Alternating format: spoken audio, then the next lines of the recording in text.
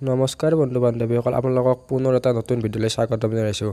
আজি আমি এইটো ভিডিঅ'ত এছ এছ ইউ এইচ এছৰ ডি ফাৰ্মৰ ন'টিচ এতিয়ালৈকে কিয় দিয়া নাই বা অইন বছৰ ডি ফাৰ্মৰ চি ডাবলৰ লগত একেলগে ন'টিচ দিয়ে বা এইবছৰ কিয় দিয়া নাই বা ডি ফাৰ্মৰ এলাই কেতিয়া ষ্টাৰ্ট হ'ব তাৰ ওপৰত আলোচনা কৰিম। চাওক ইয়াৰ অফিচিয়েলি কোনো ধৰণৰ ন'টিচ দিয়া নাই। তথাপিতো মোৰ সম্ভৱত এইকেইটা কাৰণ হ'ব পাৰে। কাৰণ ময়ো ডি দুহেজাৰ বাইছত চি ডাবল এক্সাম দিছিলোঁ।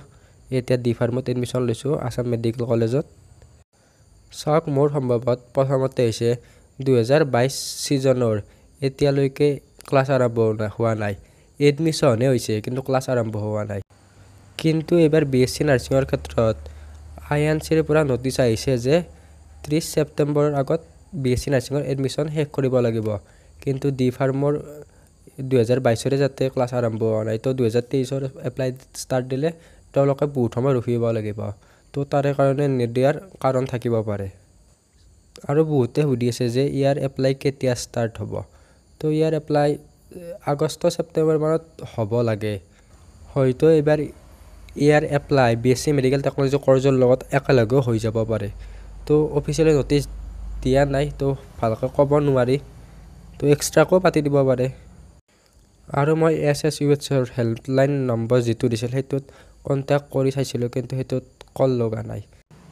আৰু ইয়াৰে ছিট কেপাচিটিৰ কথা কৈ দিওঁ ইয়াতে ট'টেল দুইশটা ছিট আছে। ইয়াৰে একশটা ছিট আছে আছাম মেডিকেল কলেজ ডিব্ৰুগড়ত। আৰু ষাঠিটা ছিট আছে জি এম চিত গুৱাহাটীত। আৰু চল্লিছটা ছিট আছে শিলচৰ মেডিকেল কলেজত তো ইয়াৰে এপ্লাই বেছি দেৰি নকৰে সোনকালে খোলা দিব।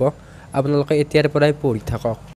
আৰু যদি আপোনালোকে এই এক্সামৰ কাৰণে অসমীয়া মাধ্যমৰ ই বুক বিচাৰে তেনেহ'লে আমাৰ ই বুকখন বাই কৰি ল'ব পাৰে। ইয়াৰে লিংক ডেছক্ৰিপশ্যনত দি দিম বা আপোনালোকে ডাইৰেক্ট হোৱাটছআপৰ জৰিয়তেও কিনি ল'ব পাৰিব। তো ভিডিঅ'টোত এইখিনি আছিল। আপোনালোকক এটা সৰু ইনফৰমেশ্যন দিবলৈ চেষ্টা কৰিলোঁ। আপোনালোকে এনেকুৱা ধৰণৰ ভিডিঅ' পাই থাকিবলৈ আমাৰ চেনেলটো ছাবস্ক্ৰাইব কৰি কাষতে থকা বেল আইকনটো অন কৰি থ'ব।